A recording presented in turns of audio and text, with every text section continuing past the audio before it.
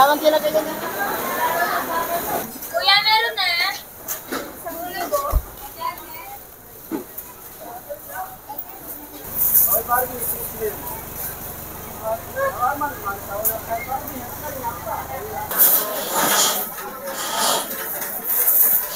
Kaya kahit ang nagmani mo ina.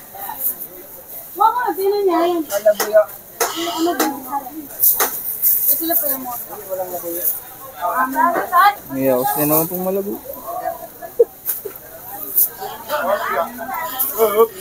Yung kayo pala makaikupan, ano, balog Dindo mo kanta? Dindo mo kanta, Toys. Wow. Bubulong ko mo kanta. Ito po. Una ko yung putot. Yan mo lang pa Bale na injury po pala si Sauna. Ha, ah, namabag nga po yung tenga niya. Sarado po yung butas ng kanyang tenga. Parang tigya po nabaligtad o pigsa, ganun. Kaya 2 days po siyang 3 days po tayong hindi nakapagtinda dahil injury po siya. Tapos tayo parang sinipon at inubo na naman. Grabe yan, para akong baby. Matanda na ako pero parang baby. Then, ngayon lang po tayo ba? Monday ngayon. Dahil nga nagpahinga po so ngayon tayo nakapamalengke. Nakorenta pa po pala si Sao, no? Alam niyo po yung nagde-drill hiyo? Ano ba yung Tagalog doon? Yung alam niyo po yung may pag, kapag may sakit kayo, yung may bolang papalapit sa inyo na pala, palaki ng palagi ng palagi. Hindi ko alam ano po yung explanation nun eh. Pero pag nagde-drill hiyo kayo, parang ganun yun. Pag nangongorenta kayo sa lagnat, ganun. Tapos mo ano-ano pinagsasabi niya. Namaga kasi yung kalahating mukha niya eh. Sa infection ng tenga niya. Kaya ngayon, medyo masakit pa yan pero namalengke na po tayo. Laban lang. For the goal.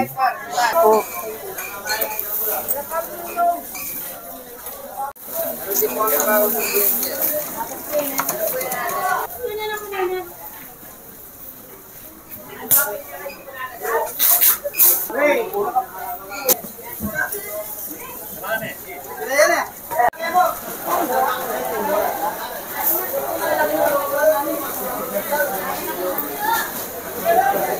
ayan. Binili natin ng mga prutas yung mga bata.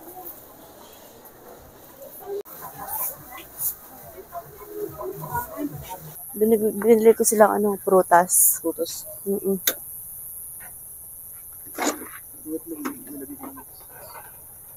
Pwede naman dyan yung itlog. Yung ano to, yung... Hindi. Bukuhanin ka din mo. Ang tingin mo, hawakan mo yung itlog, pumabasag to. Ano yan? Yan. Um, lungot. Yung yog. Ito Yan. yung prutas nila. Tingin mo, patok na lang yung itlog dyan. Ah.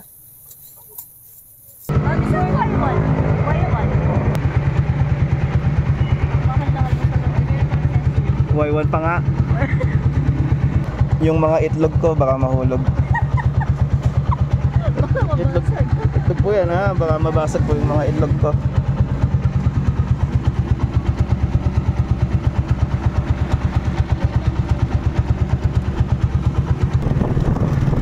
Sana all kumakain.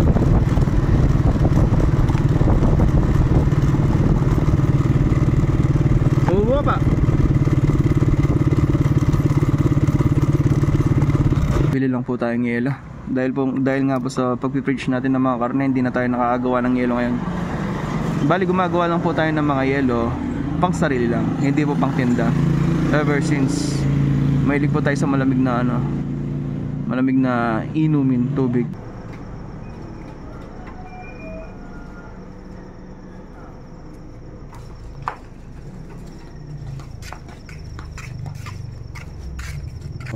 Meron po tayong ganitong jar para po pag umuo, nauuhaw po tayo, inom lang po tayo. Classic. Madalas wala pa yung laman. Kuya Lia. Tapos ito na po yung mga pinamili natin. Ayos na po natin. Medyo maaga pa. Si ate naliligo na. Maaga pa naman mag-rap na tayo. Yan. Nalinis lang po natin ulit kahapon. Naglinis po tayo kahapon yan. Kahapon lang po tayo dahil nga sa nagkasakit po si Sau. Ah, nagkaroon po siya ng damage sa tenga. Ay, may bulak po yung tenga niya ngayon. Sumasabaw. And then nagkaroon din po, ewan ko nagkaroon na po kayo ng ganyan. Yung alam niyo po yung parang tigyawat po siya sa loob o tigsa ganun. Tapos, sasarado po yung butas ng tenga yun dahil sa maga. Tapos si Sau po nagdederilhilyo. Ewan ko dinig po kanina sa palengke. palengke. Tapos yung karating mukha niya po asin magang maga. Yung maga na po yung mukha ni Fiona tapos namaga pa po lalo. Tapos ako naman po parang flu, parang ganun po, parang ewan ko ba, parang natatlo na po ako ngayon yung lagnat ganon. Siguro po no na, na ano po nung nakaraan po kasi yung alam niyo po yung, yung nakaraan babad po tayo sa ulan tapos bigla po ah, sobrang init po parang ganun parang bin, bigla na lang po ako sinipon na sumama yung pakiramdam parang ganun bumigat po as in yung gusto mo pong humiga matulog ganun. Draw, ano ba yun? Drowsy, drowsy, parang gano'n. Yung naantok ka, kasama ng pakiramdam. Laziness. Na, magkaiba naman yun. Ito pala yung iba. Nasa kulay, ano yung... Wala tayong dulong, no? Mga ilang linggo, isang linggo na ata may. Wala tayong dulong. Kaya bangos halos yung binili ni Sao ngayon. Ito yung i-rep natin, tapos yun yung for today's video. Dahil nga sa nagkasakit po si Sao, no? Hindi po natin na-defrost yung ref natin dahil may mga karne pa po tayo dito sa loob. Kaya konti lang ito na natin. Dahil tatlong araw po ata tayo hindi nakapagtinda. Kapal na oh. Sana may space. Ano to? Um, kalderetang baboy. Kalderetang baboy. Ribs. Ito yung bopis natin. Naku! Naku, naku, naku. Makikuha ka na lang ng ano sa rep, no? Ito yung mga frozen goodies natin. Mga hot dogs, mga ham. Pinapakuha nga din pala ni Sao to. Mga ginigiling to. Ayan yung partner niya. Ginagagawin natin yan kasi nung nakaraan medyo nangusumisyon po tayo. Nung isang oras po tayo nagtatanggal ng isang karne. Gagawin natin ngayon. Pag tumigas na ng kaunti ito, babagbagan ulit tapos ibabalik para hindi dumikit-dikit. Medyo hassle. Sulit yung problema yung pag dikit-dikit ang tagal. Ang hirap, naninigas na yung kamay mo eh, ayaw pang mabagbag. Pag tumix ng konti niyan, lalabas natin tapos ipapasok natin ulit. Ayan po ang ating bopisan na hugasan na. Gigilingin daw natin ulit kasi may buo-buo po daw ng pagminsan. Tapos itong gulay natin, hindi ko pa pala napaghiwa-hiwalay. Ayusin lang natin. Heto lang yung gulay natin for today's video. Ayan. Yung mga buha-buhangin po pala dito o lupa, hindi ko po tinatanggalan yan para niloloko ko po yung mga gulay para kunwari akala nila nasa lupa pa sila. Buo-buo nga po yung iba oh. Kaya kailangan siyang gilingin. Gilingan? Gilingin? Buo-buo. Kaya nga po at medyo pumino nga siya. Para siyang corned beef. Tuwa na din sa ng ating chicken.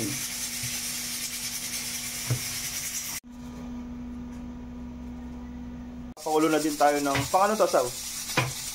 Adobo. Adobo, ayan. Adobo. After ng pambopis, ito naman, pang giniling naman, para sa ating sahog. Nakasalang na ang ating bopis. Ayan. Tapos yung adobo natin. Ayan. Adobo. Chicken Ay, curry. chicken curry pala to. Tapos ito yung gulo. Ako pala yung magulo. Manghiwa na din daw tayo ng patatas at carrots. Siyempre, ito yung obligasyon natin. Ito na ang ating mga hihiwain at babalatan. Ang nanlak sila na. O chicken curry, para pareho mo gilin pansin doon. Makapress niyan.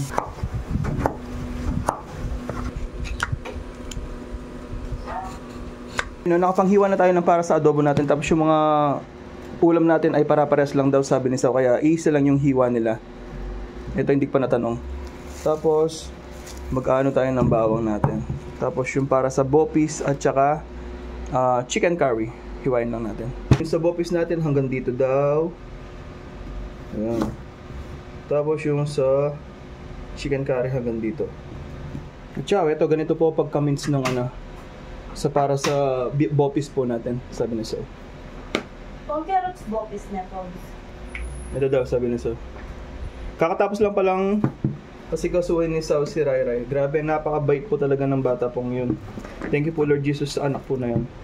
Nung Friday nga po kasi dahil sa sobrang masama po ng pakiramdam namin, hindi man lang po kami ginising ni Rai. Tapos nagbihis po siya mag-isa niya. Kaya lang, medyo ano po doon, sinuot niyang uniform, yung hindi po nakaplansya. Kaya nung pumasok po siya ng biyernes, gusot-gusot po yung damit niya. Nakita na lang po namin nung umuwi siya. Ganun po siya kabait. Grabe, hindi man lang po niya kami ginising as in para istorbohin. Dati po kasi nung bata po yun, mga 2017 po siguro yun or mag 2018. Uh, sakto pa lang po siya naglalakad. Nasabi lang po sa akin to ng isang kakilala. Bali ako po kasi yung tipo na tatay na pag nadaba po yung anak ko, hindi ko po siya itatayo. Hayaan ko lang po siya. Eh, ang nangyari po, sabi po nung ano, nagkwento sa akin, anong klaseng tatay daw po ako. Nakita ko nang nadapa yung anak ko, bakit hindi ko pa daw itayo. Ako po kasi, uupo po ako na nabang umiiyak si Rai Rai o yung sino man po yung mga anak ko. Uupo lang po akong ganun. Tapos ah, kakausapin ko siya. Sabay sabi na, anak, okay lang yung madapa. Ang importante, tumayo ka lang. Kahit madapa ka ng ilang beses, basta tumayo ka lang ng tumayo. Okay lang yung umiyak. Kaya, ang nangyari po niyan, tatayo po siya.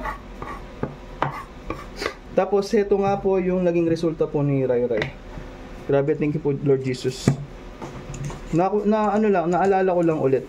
Kasi sinabihan lang po ako ng isang kakilala, ba, anong klase daw, klaseng tatay ako, ba't hindi ko itayo yung anak ko? Nadapa na, bakit hindi ko pa itayo? Di ba na nakaano po natin yung tawag doon yung mga bata na laging tinutulungan, parang ganun.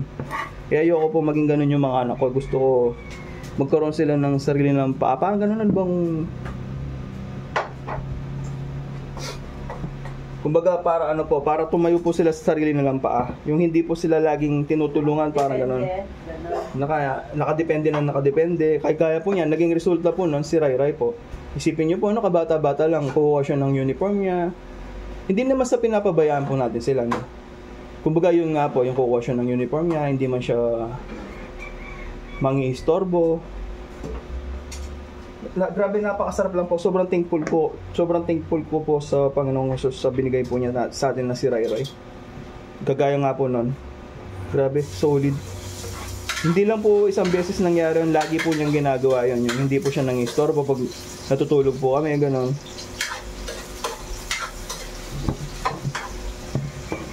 Na-share ko lang po kasi Pag sobrang gutom na lang talaga. Oh, pag sobrang gutom. Tapos hindi mo siya, yung hindi man siya sakit sa ulo. ah, thankful po ako ngayon kasi hindi po siya, as of now, kasi hindi naman po natin alam yung future kung ano po yung mangyayari sa kanya. Pero sana, dalangin ko po na sana magdire-diretso po yung pagkagaling niya. Wala lang, gusto ko lang pong i-share yung kabaitan ni Rai Rai. Grabe, nakapakabuti niya talaga. Thank po, Lord Jesus. Tapos kay ate naman po, hindi ko po kaagad nagawa yun. Kumbaga medyo may edad na si ate nung ginagawa ko po yun. Alam niyo po ba lagi kami nag-aaway ni Sao nung dahil kay ate? Kapag nasasaktan po si ate ng si Ivane, nag-aaway po kami. May one time nga na napauwi po siya dahil sa nag-aaway po kami dahil kay ate. Ano kasi nangyari nun Sao? Nahulog ba si Ivane? Nahulog po siya tapos umiyak si Ivane nun si ate. Nagalit po ako kay. Kasi ayoko pong umiyak yung anak ko nun. Tapos ngayon, medyo ito po yung resulta kay ate. Medyo ang kulit po niya, yung Pag gusto niya, gusto pag gusto niya, gusto niya ganun, yung Spoiled brat. spoiled brat. Pero hindi namin tinotolerate yung pagkagano. Mm. Pinuputol namin. Kung maaari lang po, hindi. Oo. Yun lang ang kulit niya. Spoiled talaga siya yung ganon. Okay, ako yung may kasalanan po noon kasi hindi ko siya kaagad na ganon. Nagtatrabaho po kasi ako noon eh. Tapos pag uwi ko, sabik po ako magkita siya. Tapos kapag umiiyak siya, nag-away kami ni Sao. Pag napapaiyak niya, or nasasaktan yung anak ko, ganon. Namamalo po kasi ako dati, pero nung Namamalo naman po kami kahit naman sino kahit po. nagkaroon na siya, hindi, hindi ko na ginawa yun. Na-share lang po natin dahil nag-aaral po sila ngayon na sila po kasama po sa ano sa time management po natin. Kasi mas priority pa rin sila eh. Oo, sila po yung priority natin. Kaya kahit nagdi-deliver po ako, unahin ko yung pagsundo ko sa kanila. Kasi ginawa po natin itong negosyo na to para sa kanila. Para makasama ko po sila, para mahatid sundo ko po sa sa school. Kaya nga, minsan ah, kapag na ano nadadala po tayo na ano natin na pag-uusapan po namin ni Sal na oo ginagawa natin to para sa mga bata parang na magiging priority na yung ano natin, yung ginagawa natin, parang ganun. Nagpapaalala, no? Nagpapaalala na ano po kami dalawa ganun. In a good way. Mm. Kasi ginawa po namin to para makasama yung mga bata, tapos bandang huli, nakakalimutan po natin na nauuna na po pala natin yung trabaho, parang ganun. Kasi ganun po yung nangyari sa akin dati. Kasama ko yung mga bata pero parang hindi nila po ako kasama. Dahil iba yung nasa utak ko. Gusto ko po magpayaman, ganun. Kasi pinangarap ko po yung yumaman, pero yung makilala hindi po. As in, pinangarap ko yung yumaman na yumaman na yumaman. Pero makilala po tayo, hindi. Kaya naging struggles po sa akin pag YouTube nung una. Kasi hindi ko naman po akalain na nagmumukbang ka lang, yung ganito ganyan. Tapos anak lang po ako ng isang tricycle driver. Tapos may magpapapicture po sa atin. Naiilang po ako as an introvert. Di po ako sanay. naging struggles po siya sa, naging struggle po siya sa akin nun. Pero ngayon, dahil nga po sa pagbabasa po na, actually isa po sa mga nagpapagising sa akin, alam niyo po yung isang biblical movie, yung sabi ng Panginoon sa Kristo, yung movie po na sabi niya, kawawa kayong mayayaman, sabi niya gano'n. Hindi naman po ako naging mayaman, pero gusto ko pong maging mayaman. Tapos sinamba ko po yung pera dati. As in, sinamba ko po. Mas priority ko yung pera dati. Wala akong pakialam kahit ano pa yung ginagawa ko, basta magkapera po ako. Alipin lang sa lapi. Ali, naging alipin po ako ng sarili. Bago po tayo mag-YouTube. Kumbaga parang naging ano po talaga yung YouTube sa atin yung wala po sa wala man po ako pakialam sa YouTube dati kahit nung una. Kaya lang po ako nag-YouTube dahil kumakain po ako, gusto ko kumakain. Tapos yung nag-share nga po tayo paano yung ano yung ginawa ko nung nagpapayat po ako. Ngayon tapos na po tayo sa ganun.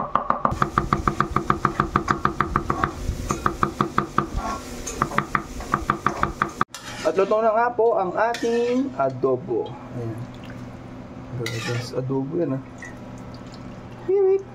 At heto naman po ang ating bow piece. Ayan. Pulutok sa kapangpangan.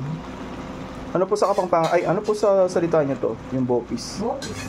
Bow piece din. Sa atin lang yung may pulutok, no? Na? Sa atin lang yung may pulutok. Kaya tinawag ng pulutok yan kasi pag nag-dry na yan, kung wala siyang sabaw na ganyan, Pumuputok.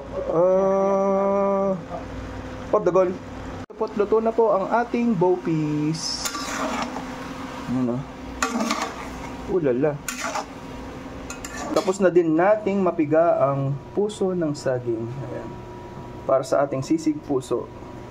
Kasalukuyang naka salang ang kaldereta. Chicken curry, Ay. yung kaldereta. Ay, chicken curry pala. Nakuhula lang po ako. Akala ko tama. Yun, mamprito na tayo ng bangus.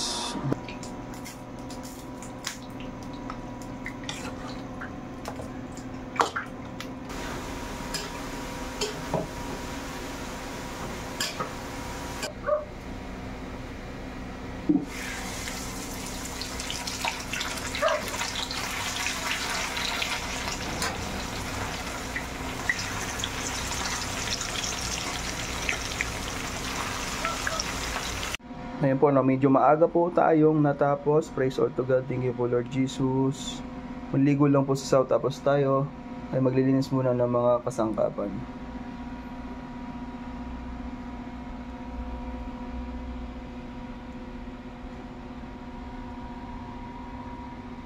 Yung pusong saging nandun na din.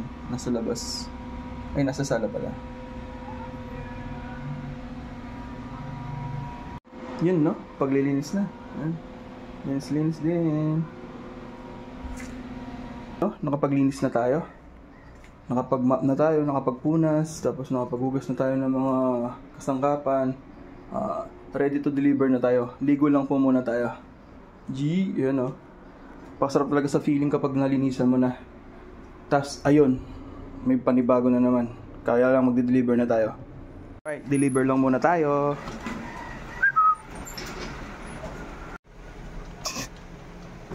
Game. Ito po yung sa may ah, swimming pool sa harapan. Tapos ito ay sasuki po natin. Actually, suki po natin silang lahat kay Ma'am Cyril. Tapos ito ay ating titay.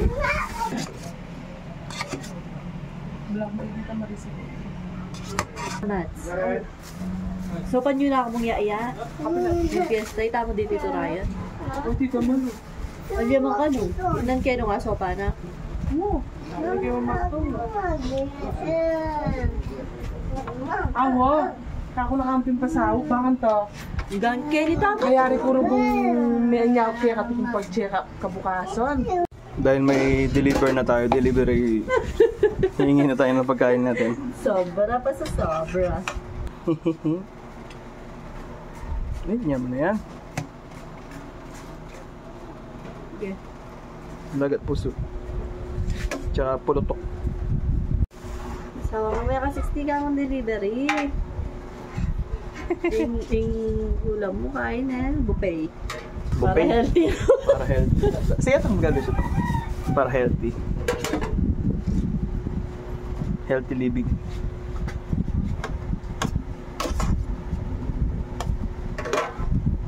Pinag-uusapan nga namin nung nakaraan yung ano yung ah, ano yung gulay? Isa yung gulay. Sinabawang gulay.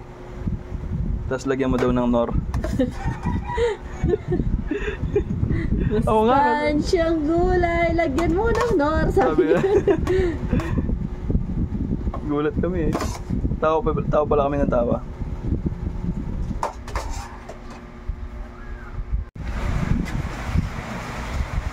Isang order, isang tao lang no?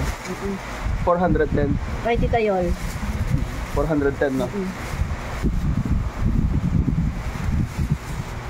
Magsusundo na lang ako ng estudyante, umulan pa. Ay. Tricycle tuloy ako.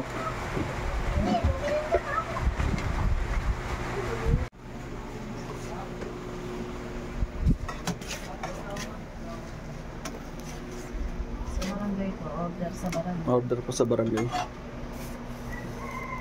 Ano yung kwenta? Kwentahin natin. Okay.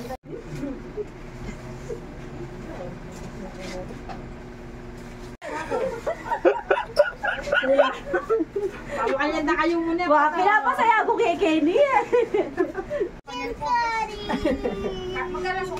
19 po. po. Wala nga papakit ng kilo na.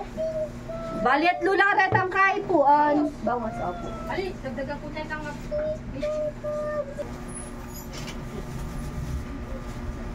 Kumakain na po ang mag-ina favorite na ulam ni Rai Rai.